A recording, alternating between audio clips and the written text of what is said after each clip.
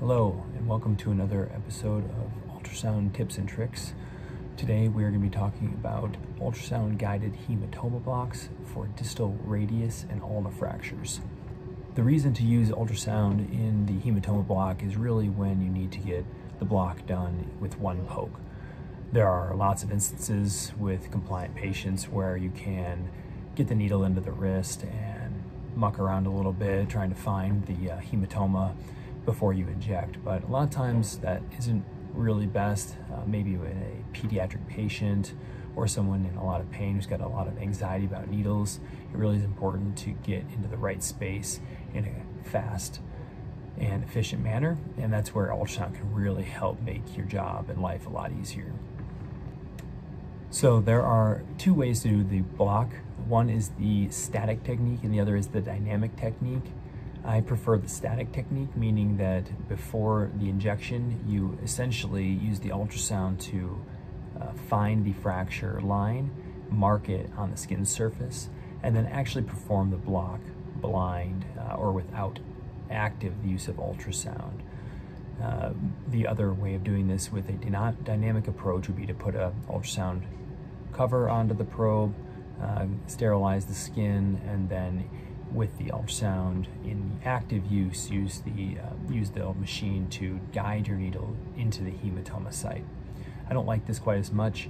I don't think it's really necessary and it does add some time uh, to the procedure itself as far as guiding the needle and cleaning the machine, getting everything set up. So I do like the static technique better for those reasons.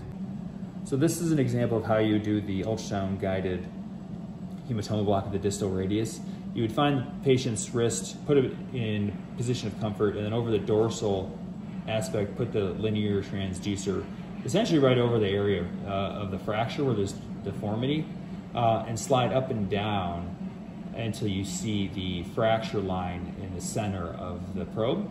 Once you identify the fracture line uh, right at the transducer mark, I just take the probe off, and mark the skin with my fingernail, uh, or if you have a pen or marker, you could do the same. And X marks the spot for where you're needing to inject. So this is a ultrasound of my distal radius. Uh, the white line here is the cortex of the bone. Um, and as I slide distally, you will see it become the distal portion of my radius as it bends downward here into the wrist crease, into the wrist joint. Uh, and then this bone is my, probably my scaphoid bone. So this is the, the normal architecture of the distal radius uh, without a fracture. And if I skip over more laterally, uh, I will find the ulna, because you can, you can do the, the ulna as well. And so there's the ulna, and that tip there is the, right over here, is the ulna styloid, and that's the most common area to fracture um, with a kind of a both bone fracture of the distal radius.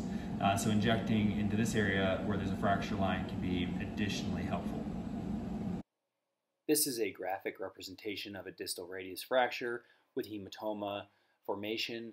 Obviously, with a needle, you're trying to enter the periosteal layer to get into the hematoma site to inject about 10 mils of 1% lidocaine.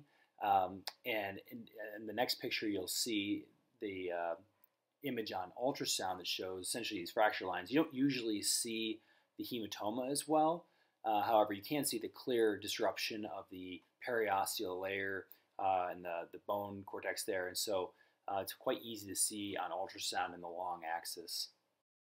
I also just want to mention that there have been several studies done over the past several years on the use of hematoma blocks and specifically ultrasound guided hematoma blocks and they found that essentially they're equally effective for pain control in distal radius fractures when compared to procedural sedation.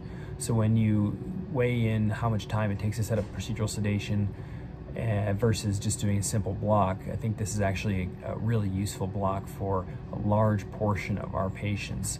Uh, clearly not everyone, and some people will need to be sedated for reductions, um, but this is a great tool to have in your toolkit.